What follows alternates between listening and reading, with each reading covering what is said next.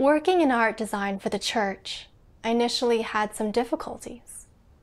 But through relying on God and partnering with brothers and sisters, my performance improved. Later on, I was informed unexpectedly that Sister Lisa was reassigned to a new duty because her designs were full of errors and often had to be redone.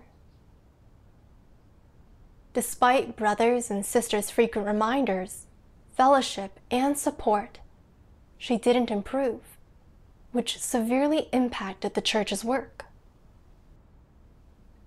After Lisa was reassigned, I told myself that I needed to be more cautious in my work and avoid making mistakes. If I made a bunch of mistakes and proved to be unfit for the job, would only be a matter of time until I was reassigned.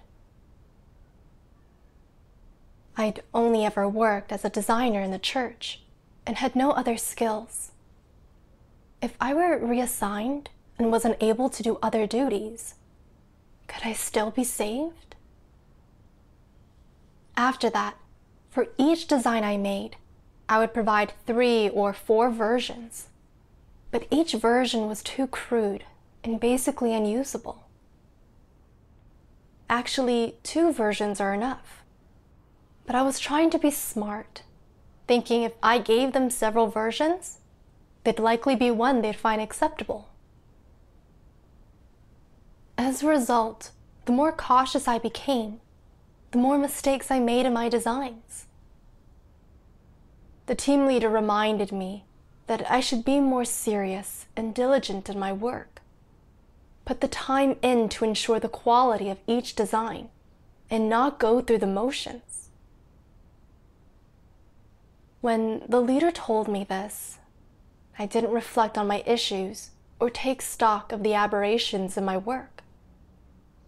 I just worried about whether the leader would find me unfit for the work and reassign me. Later on, I became even more fearful of making mistakes in my designs. Sometimes, when I didn't agree with other brothers and sisters' suggestions, I'd want to talk over with them how to do a better job. But I felt like if I ran my mouth, people might think I was being perfunctory and didn't want to make revisions. If I gave people a bad impression, I'd be on my way to being reassigned. I felt I had to be more cautious and show everyone that I could take suggestions and was diligent and responsible. So I kept my mouth shut. During that time, the more I worried about being reassigned, the more mistakes I made. One design was sent back several times and delayed our work. I was only able to produce about a quarter of what I normally did in one week. Seeing that my performance was clearly suffering, the team leader dealt with me, saying, Your designs have been subpar recently. They're always getting sent back and you're quite inefficient. Are you concentrating on your work or not? What is the issue? Have you reflected? The team leader's criticism really hit me hard. I realized that I was slowing down our work progress, and now my true colors were being exposed for all to see. It seemed I would certainly be reassigned, given how many issues I was having. I became depressed and I couldn't get motivated in my work. I was just waiting for the day when the leader would come and tell me I'd been reassigned. Then I realized that was a precarious state to be in. So I reached out to God in prayer and seeking. Why did I always worry about making mistakes and being reassigned? One day, I saw these passages of God's words. An antichrist sees being blessed as greater than the heavens themselves, greater than life, more important than pursuing the truth, dispositional change, or personal salvation.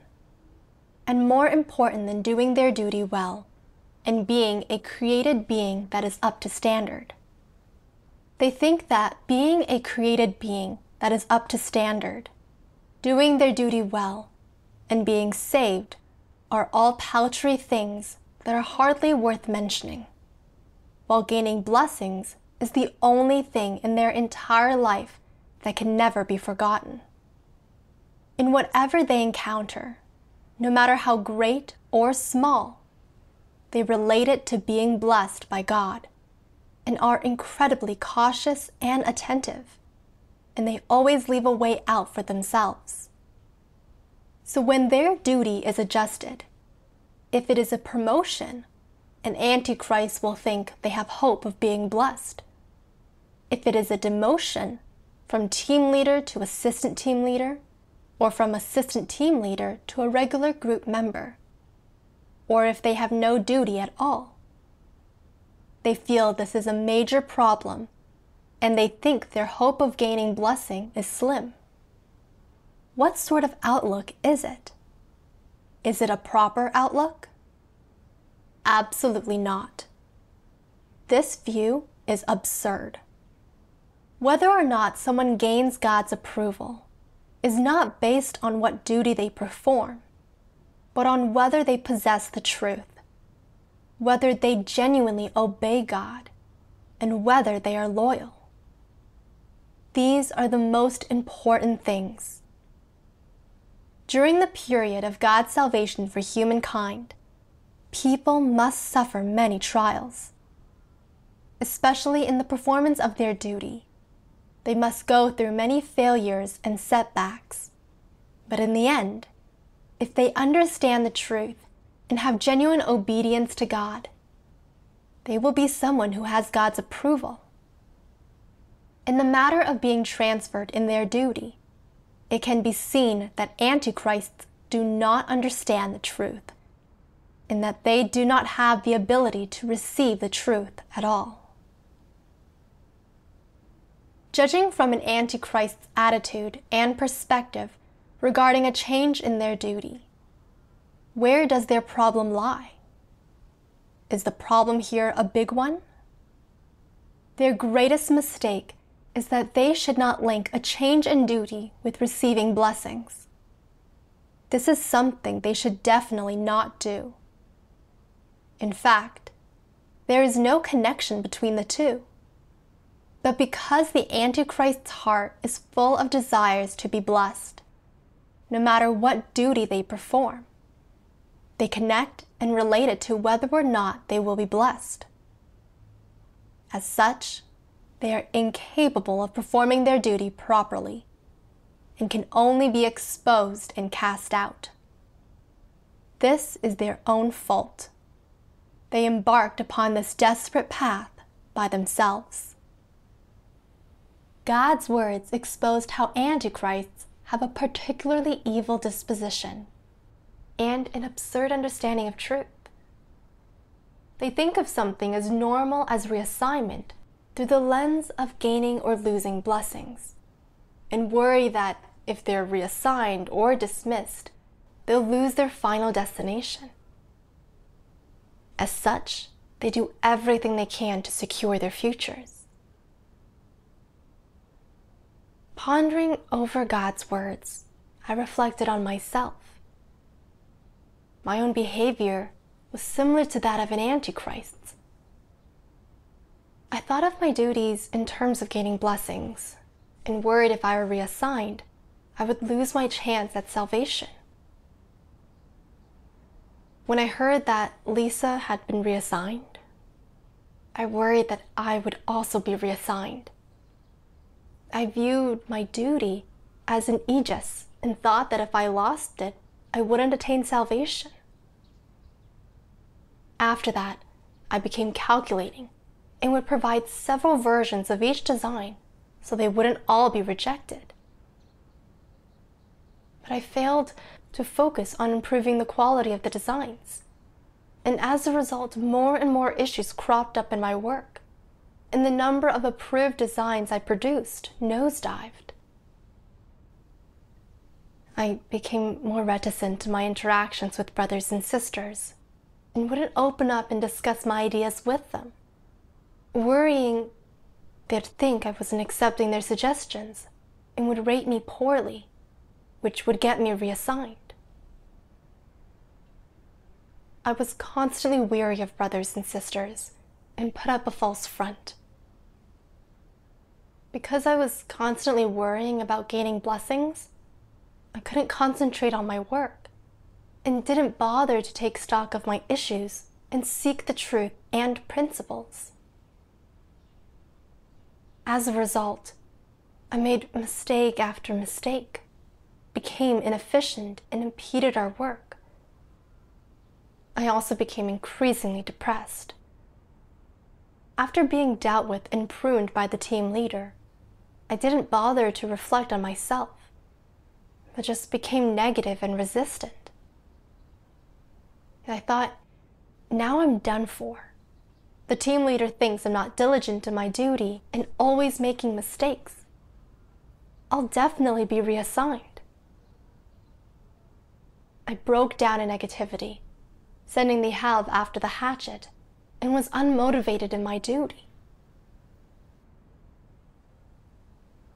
God had bestowed me with the opportunity to do my duty so that I would seek the truth, work according to principle, and be able to attain His salvation. But I didn't walk the right path.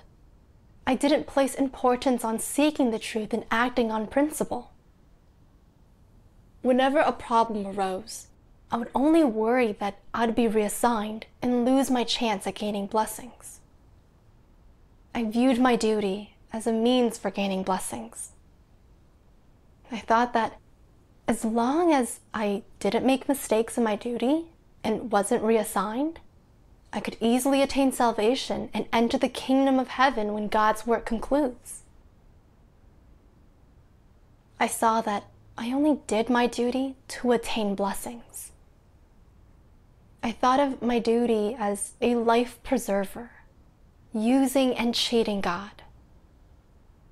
This all made God abhor and despise me. I felt guilty and regretful, and so I prayed to God and was ready to repent. Later on, I saw more of God's words. Tell me, if someone who has made a mistake is capable of true understanding and is willing to repent, would God's house not give them that chance? As God's 6,000 year management plan draws to a close, there are so many duties that need to be performed. But if people have no conscience or reason and are derelict in their work, if they have gained an opportunity to perform a duty but do not know to treasure it, do not pursue the truth in the least, letting the optimal time go past, then they will be revealed. If you are consistently careless and perfunctory in performing your duty, and you do not submit at all when faced with pruning and being dealt with, will God's house still put you to use in the performance of a duty? In God's house, it is the truth that reigns, not Satan. God has the final say over everything. It is He who is doing the work of saving man, He who rules over everything. There is no need for your analysis of what is right and wrong. It is yours only to hear and obey. When faced with pruning and being dealt with, you must accept the truth and be able to correct your mistakes. If you do, God's house will not strip you of your standing to perform a duty.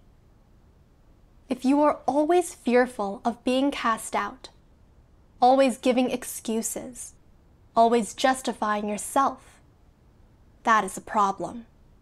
If you let others see that you do not accept the truth in the least, and that you are impervious to reason, you are in trouble. The church will be obliged to address you.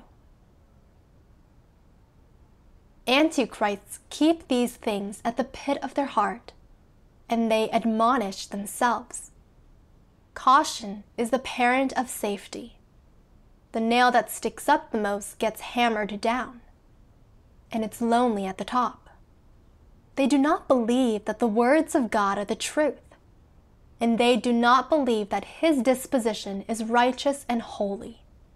They regard all this through human notions and imaginings, and they approach the work of God with human perspectives, human thoughts, and human guile, employing the logic and thinking of Satan to delineate God's disposition, identity, and essence.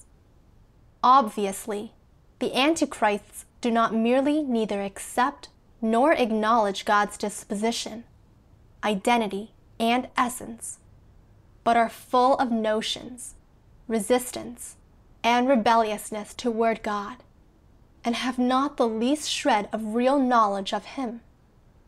The Antichrist's definition of God's work, God's disposition, and God's love is a question mark, dubiousness, and they are full of skepticism and full of denial and denigration for it.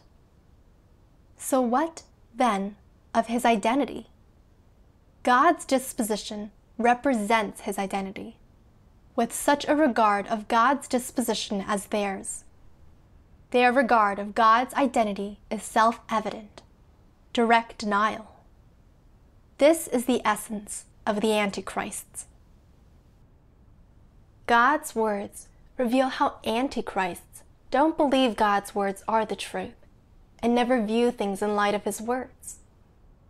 Instead, they weigh all things in terms of their own treacherousness and satanic logic. Their disposition is truly evil. Considering myself in the light of God's words, I realized that my way of viewing things was no different than an Antichrist's. When Lisa was reassigned, I didn't view the matter in terms of the truth and principles, instead adopting the satanic idea that caution is the parent of safety, and thinking that I'd better be more cautious and shouldn't make any mistakes. If I made too many mistakes and was reassigned, I thought I'd be thoroughly exposed and cast out. When doing my duty, I was even reticent to express my thoughts during regular exchanges with brothers and sisters, and wouldn't open up in fellowship about my ideas, worrying that if I said or did anything wrong, I'd be reassigned. After the leader dealt with me and reminded me to be diligent in my duty, I became wary, thinking that my being dealt with was a sure sign I'd be reassigned and would lose my chance of attaining salvation. I realized that I'd practiced faith for quite some time and read many of God's words. But I didn't seek the truth and didn't view things according to God's words. Instead, I judged God's work using satanic logic and beliefs, thinking that God was just like world leaders that lacked fairness and righteousness. In my duty, I felt like I was on a razor's edge and might be exposed, cast out, and have no chance to repent if I ever did or said anything wrong. In my beliefs, I was denying God's righteousness and blaspheming Him. In the church, God and the truth wield power. Casting out and reassigning people is always done according to principle. The church will never condemn and cast out people based on an isolated incident, but rather based on that person's attitude to the truth, their overall behavior and their nature and substance. Lisa always went through the motions in her duty, which was damaging to the church's work. Brothers and sisters fellowshipped the truth with her, supported, exposed, and dealt with her. But she didn't show any signs of repenting and was ultimately reassigned. Also, her being reassigned didn't mean she'd be thoroughly cast out. If she reflected on herself, sought the truth, and truly repented and transformed, she'd still have an opportunity to attain the truth and God's salvation. But if she still didn't repent and accept the truth after receiving fellowship and support and being dealt with multiple times, then she'd be thoroughly exposed and cast out. I was reminded of how God dealt with Nineveh. When God became aware of the corruption, evil, and sin of the people of Nineveh, he sent Jonah to warn them and gave them 40 days to repent. The people of Nineveh then put on sackcloth, sat in ashes, and truly repented. God saw their sincerity and pardoned them of their sins. The story shows how not all who transgress are cast out. God sees if people repent and are sincere. I didn't seek the truth and view this matter according to God's words, opting instead to adopt a wary and misunderstanding attitude. I was resisting and struggling against God, and if I didn't repent, I would be exposed and cast out. Later on, I saw two other passages of God's words that gave me a better idea of His intentions. God's words say, some people will end up saying, I've done so much work for you, and though I may not have made any celebrated achievements, still I have been diligent in my efforts. Can't you just let me into heaven to eat the fruit of life? You must know what kind of people I desire. Those who are impure are not permitted to enter into the kingdom. Those who are impure are not permitted to besmirch the holy ground. Though you may have done much work and worked for many years, in the end, if you were still deplorably filthy, then it will be intolerable to the law of heaven that you wish to enter my kingdom. From the foundation of the world until today, never have I offered easy access to my kingdom to those who curry favor with me. This is a heavenly rule, and no one can break it. You must seek life. Today, those who will be made perfect are the same kind as Peter. They are those who seek changes in their own disposition and who are willing to bear testimony to God and perform their duty as a creature of God. Only people such as this will be made perfect if you only look to rewards and do not seek to change your own life disposition, then all your efforts will be in vain. This is an unalterable truth. Man's performance of his duty is, in actuality, the accomplishment of all that is inherent within man, which is to say, that which is possible for man. It is then that his duty is fulfilled. The defects of man during his service are gradually reduced through progressive experience in the process of his undergoing judgment. They do not hinder or affect man's duty. Those who cease to serve or yield and fall back for fear that there may be drawbacks to their service are the most cowardly of all. Pondering God's words, I realized that God determines people's final destinations based not on their duty, how much they've suffered, or how much capital they've amassed, but rather if they're loyal in their duty, submit to God, have testimony of practicing the truth, and have achieved transformation of their disposition. Also, God's demands of people and their duties are all practical. He doesn't ask that people achieve perfection and never make mistakes, but rather that they put their abilities into full play in their work. do their utmost and refrain from going through the motions and being slippery. This way of fulfilling one's duty satisfies God.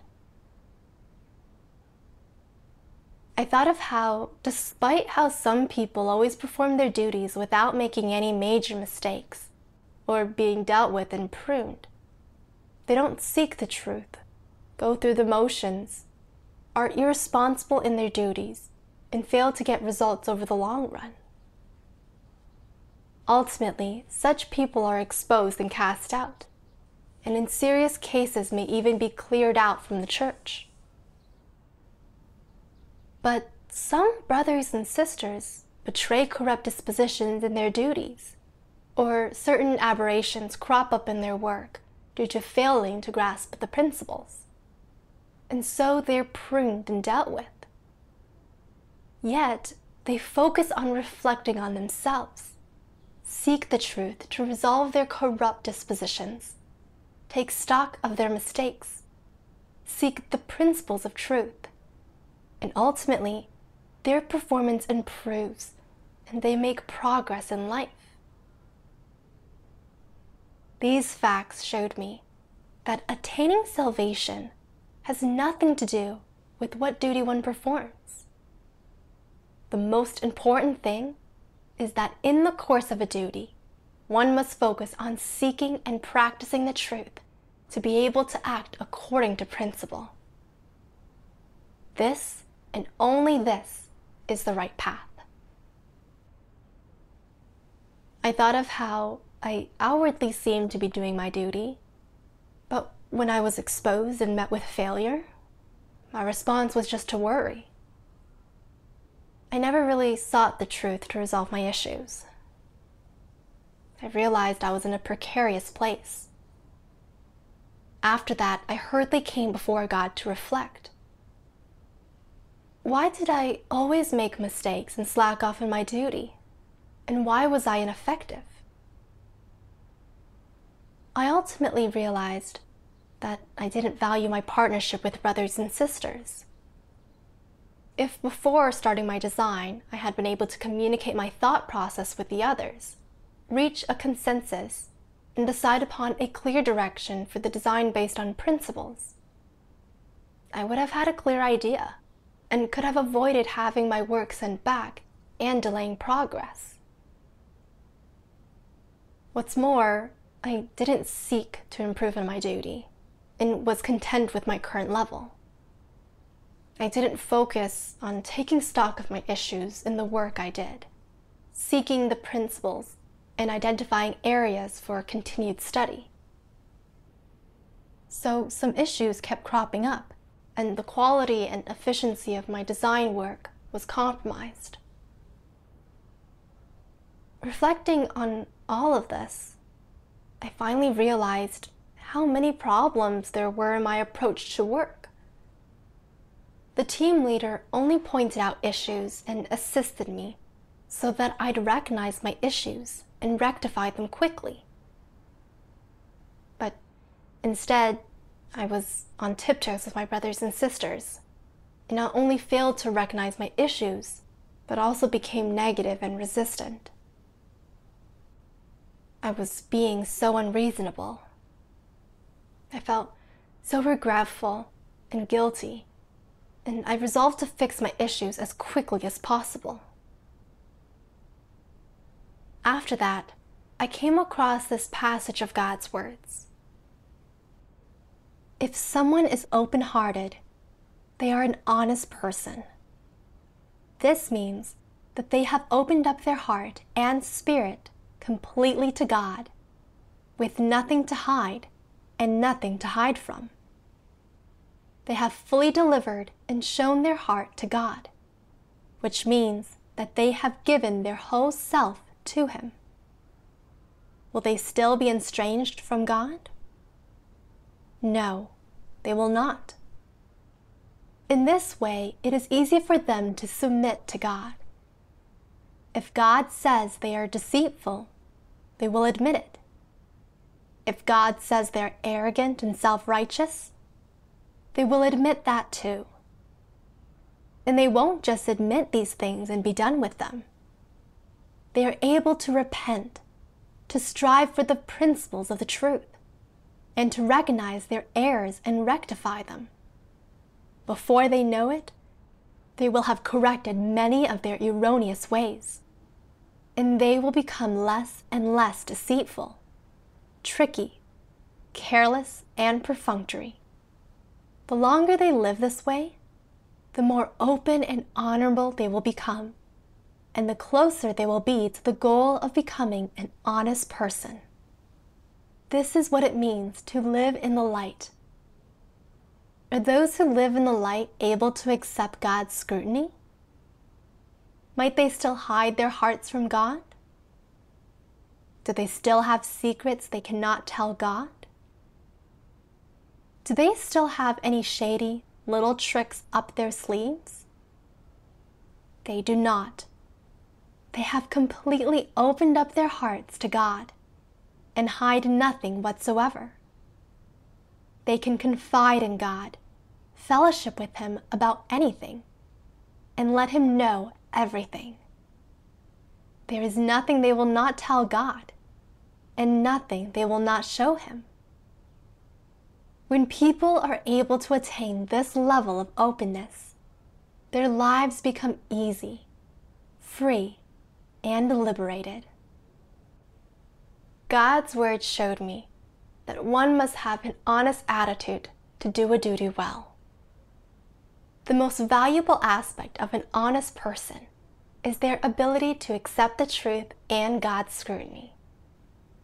No matter how they're exposed or meet with failure, they're able to recognize their deficiencies, seek the truth, reflect on themselves, and rectify the mistakes in their work.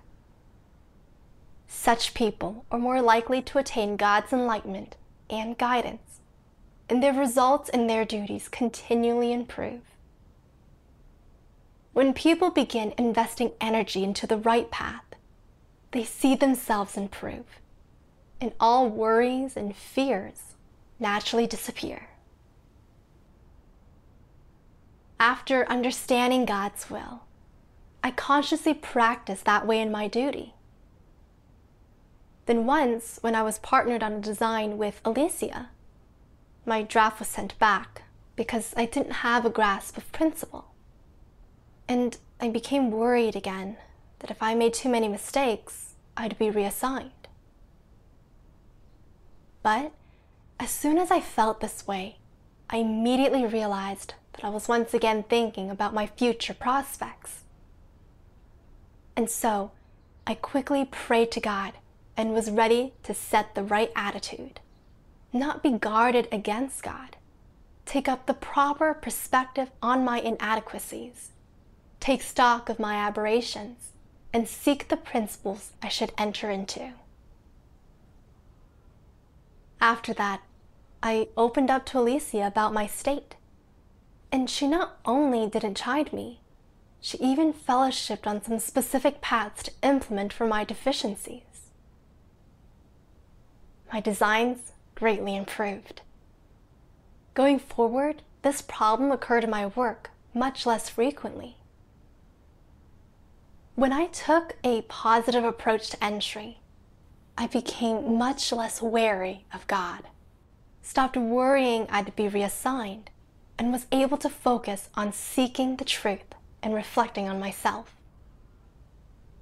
Over time, I progressed in my duty and made fewer and fewer mistakes. I also gained a lot in my life entry and felt peaceful and at ease.